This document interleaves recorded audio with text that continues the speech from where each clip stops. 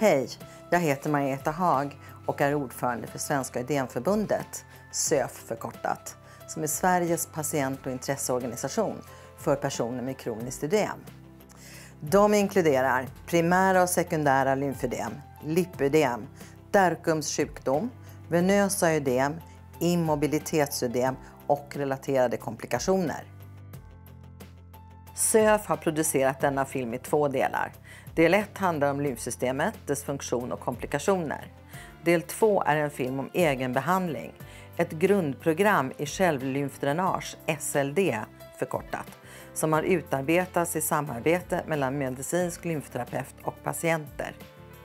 Patienternas upplevelse är att det har hjälpt dem att hålla sin svullnad under kontroll. Alla ödem är olika och kräver olika mycket behandling. Grundprogrammet i SLD kan därför behöva individanpassas.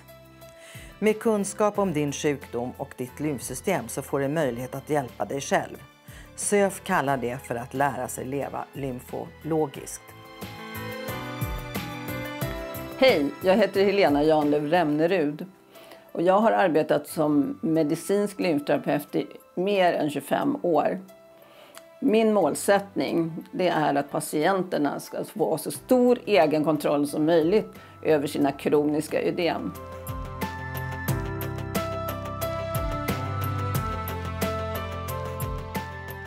Kroniskt ödem är ett samlingsnamn för en svullnad i kroppen som inte går bort av sig själv. Kroniska ödem kan delas in i olika grupper beroende på vad som orsakat ödemet.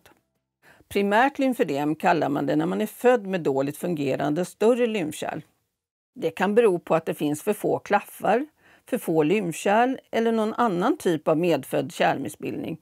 Primärt lymfödem börjar ofta som en svullnad i en fot eller i båda fötterna och sprider sig uppåt. Sekundärt lymfödem uppkommer oftast efter operationer som skadar de större lymfkärlen, som vid canceroperationer. Då kan till exempel en arm eller ett ben svullna. Men sekundärt lymfödem kan även uppstå i samband med andra operationer såsom höftoperationer, knäoperationer eller upprepade trauma, exempelvis fotstukningar. Lipödem uppstår när de mindre lymfkärlen är onormalt krokiga och inte fungerar som de ska. Svullnaden består då av en bubblig fettväv som börjar kring höfter och lår och sprider sig ner till fötterna som är normala. Lipödem är oftast ärftligt. Venösa ödem förekommer vid åderbråck. Då tar venerna inte upp den vätska som de ska. Belastningen på lymfsystemet blir till slut alltför stor och benen svullnar till slut.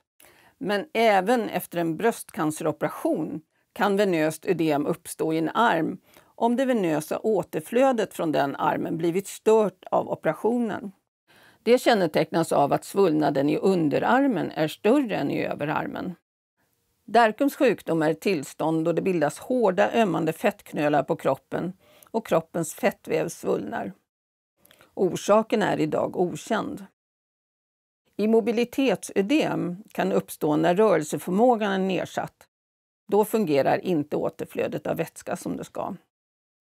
Prognosen för ett kroniskt ödem är att en kroppsdel som är drabbad fortsätter att svälla och ökar i volym.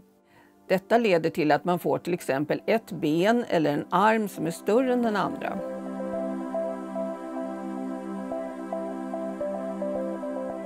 För att förhindra en volymökning vid kroniska ödem är det viktigt att försöka få lymfsystemet att arbeta effektivare med att transportera bort vätska från svullnadsområdet. När man ökar pumptakten hos lymfsystemet kan mer vätska transporteras bort än blodcirkulationen tillför. Då minskar ödemet.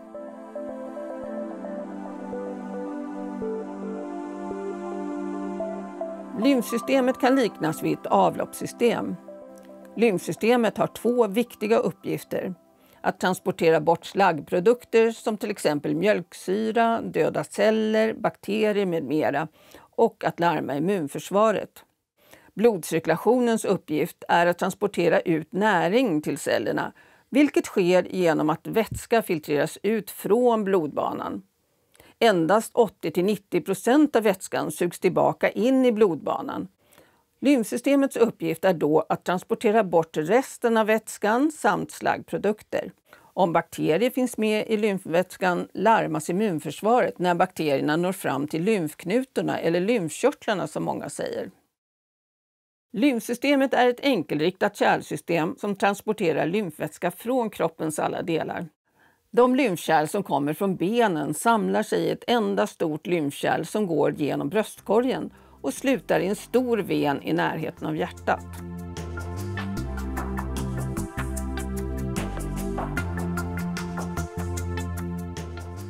Om man är född med ett dåligt fungerande lymfsystem eller om lymfsystemet skadats, till exempel vid en operation, kan vätska bli kvar i någon del av kroppen. Om så lite som en milliliter vätska blir kvar varje dag uppstår en ständigt växande svullnad. Denna svullnad kallas lymfödem. Vätskan omvandlas så småningom till fast vävnad bestående av fettväv och bindväv. En arm eller ett ben som drabbats av lymfödem kan växa till den dubbla storleken eller mer. Vid ett trögt lymflöde tar det också längre tid innan en bakterie når lymfknutorna, vilket gör att bakterien hinner föröka sig och göra större skada innan immunförsvaret hinner reagera. Risken är då att bakterierna orsakar rosfeber och i värsta fall blodförgiftning. Vid lipödem är det de små lymfkärlen som inte fungerar normalt då bildas en bubblig fettvävnad.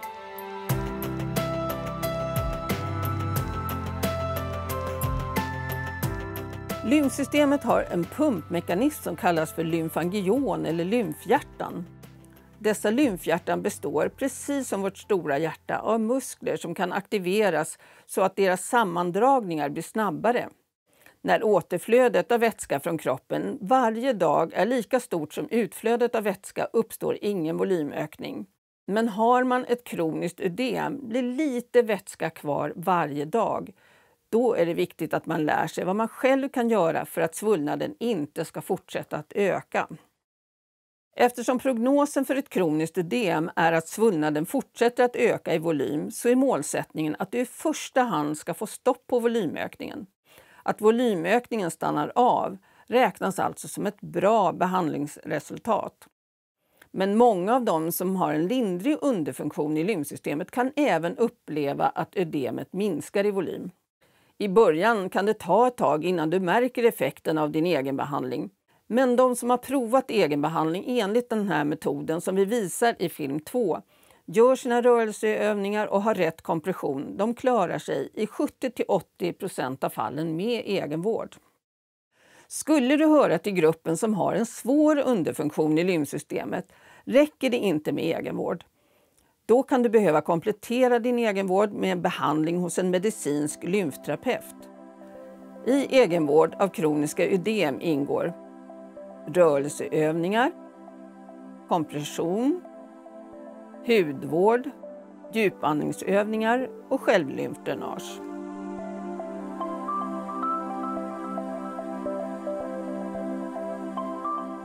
Muskelrörelse stimulerar lymfsystemets lymfhjärtan att pumpa snabbare.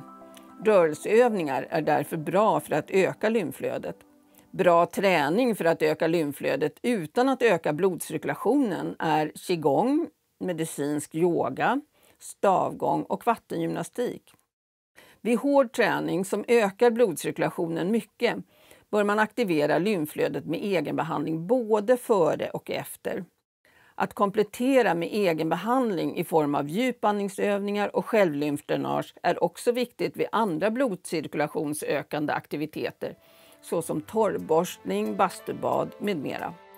Kompressionsplagg är ett viktigt komplement och hjälper lymfsystemet att fungera bättre när du rör dig, men ökar inte i sig själv lymfsystemets pumpförmåga. Kompressionsplaggen får inte sitta åt så hårt att de stoppar lymflödet. Tänk särskilt på hur kompressionen sitter vid lederna och vid de övre och nedre ändarna. Om du till exempel svullnar din hand när du har tagit på dig kompressionsärmen så sitter den för hårt någonstans och då ökar ödemet.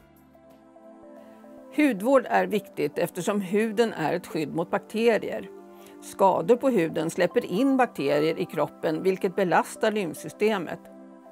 Vid ödem tenderar huden också att bli torr och oelastisk och behöver smörjas regelbundet med mjukgörande salvor.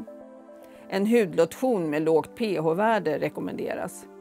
En oskadad elastisk hud minskar risken för rosfeber som är en relativt vanlig biverkning hos patienter med lymfödem.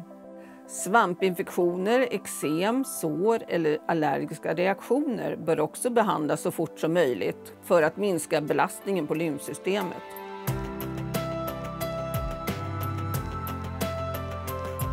Försök att hålla en så normal kroppsvikt som möjligt. Om du har kroniskt ödem och går upp i vikt ökar volymen allra mest där du har ett trögt lymflöde, det vill säga i ödemområdet. Du bör undvika mat som innehåller socker eller snabbt omvandlas till socker, så kallade snabba kolhydrater, eftersom den typen av mat påskyndar viktökning. I film nummer två, Egenbehandling med självlymfdränage för kroniska ödem, visar vi hur du själv kan öka aktiviteten i lymfsystemet med djupandningsövningar och självlymfdränage. Egenbehandlingsmodellen i film 2 är utarbetad i samarbete med patienter som upplever att de genom denna egenbehandling har fått ökad egenkontroll över sina kroniska ödem. Tack för att du stödjer oss och är eller blir medlem i SÖF. Det hjälper oss hjälpa dig genom att vi blir starkare och kan informera och påverka mer för optimal vård.